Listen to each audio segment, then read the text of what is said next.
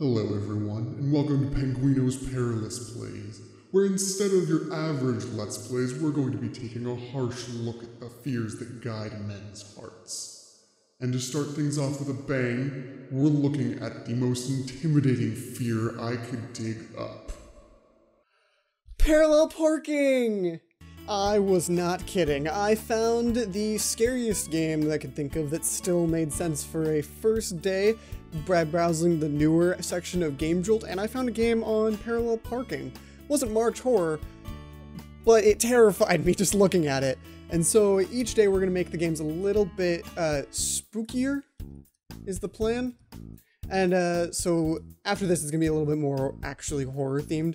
But this seemed like something just silly enough that I wouldn't actually be scared and it would be hard. And oh my god, this is.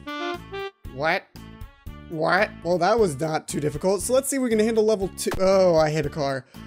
So this is definitely uh, an indie game, but it's it's it's something that uh, I've never had to do because I live outside of a major city. So I've never had to. God damn it!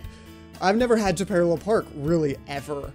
And uh, I mean, if you're allowed to be that janky of a parallel parker, then I don't think you live in a city either. Damn it!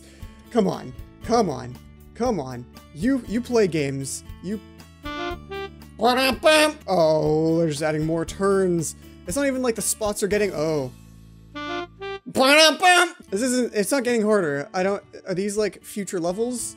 Cause it's, like I can just park sideways and it counts for some reason. Oh god. I'm gonna, okay, I'm done. I mean, that's the last time I do it. Oh, that's it. I finished the game.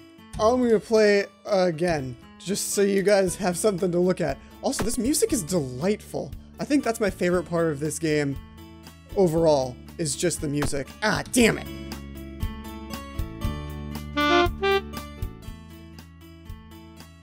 That sound though, every time it comes up. So yeah, uh, in case anybody's worried, this is not instead of my normal videos. I know I'm still playing Soma, which is already a pretty spoopy game, but I mean, only like one or two videos are going to go up this week regarding that in general. So it should be if I uh, if I play these games and I they're actually scary in order like I want them to be, then um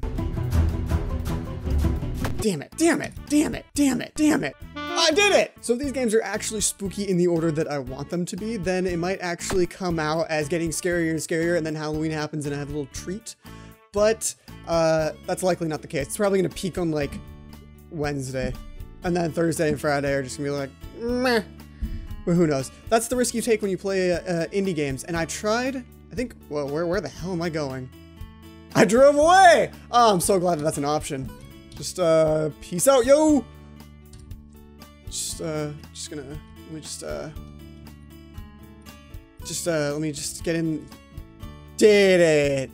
did it! So most of these games are to be coming from the new section of Game Jolt. The links are all to be in the description. The description uh, for this video should have parallel parking the game. It's uh, It was uploaded, I believe, 10 days ago. Oh, hit menu. So I think that's all that I can get out of this video.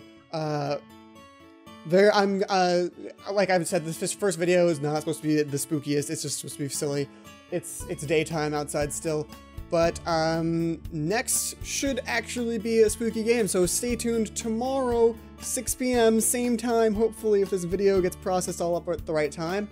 And if not, tomorrow, Tuesday at 6 p.m. Uh, maybe I'll make a little playlist for this, it'll be really fun. Anyway, thank you guys so much for watching, and I'll check you guys in the next Penguino's Perilous Plays. Ooh.